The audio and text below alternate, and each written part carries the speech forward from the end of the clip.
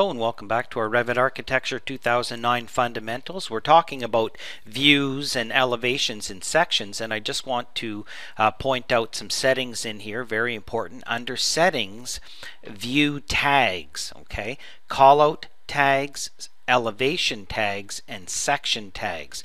These are the little symbols that get placed when you create a callout an elevation or a section and the little section bubble or elevation bubble or callout bubble that gets placed at each end of the elevations and sections and there's only one end on a callout so um, we're, we're going to start with the elevation tags okay? Callout and section are similar elevation are different. And what we do here is we have a system family called elevation tag and inside there's only one type currently called elevation 1 and this is all the parameters, the type parameters. It's square, uh, the text is inside, the little arrow on the elevation symbol is at 45 degrees, it's not filled, you know, all this different information, color, font and size and all that stuff.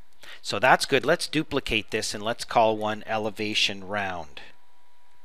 So we're making a new type okay? And that type of elevation is going to have a circle. It's going to have um, a 50 degree um, pointy uh, arrow. It will be filled and the color is going to be you know orange. Hit OK okay text font and etc so that's a different type so I hit OK so then from there, now, when I go down to, uh, say, a level 1, okay, and I'm going to draw a new uh, elevation, so I'll go to my View tab and say Elevation. When I go to here, I'll notice that I have an elevation 1 is a new type. So inside of here, I'm going to go to the properties of that elevation and say Edit, and I'm going to duplicate that and call this elevation round, and I know it seems like you're nesting stuff inside of the same thing. Um, and so that's a different type, okay? And now I can go in here and specify elevation round. Okay, that's kind of confusing, I know, so that's why I did this lesson.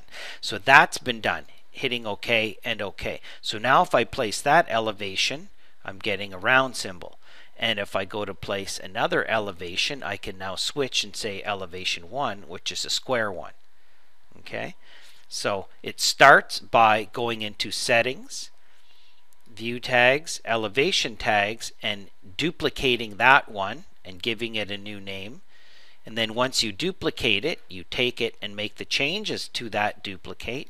Duplicate. Then you start the elevation and you go to the properties of that elevation and you edit that and duplicate that again and then nest the previous one into it.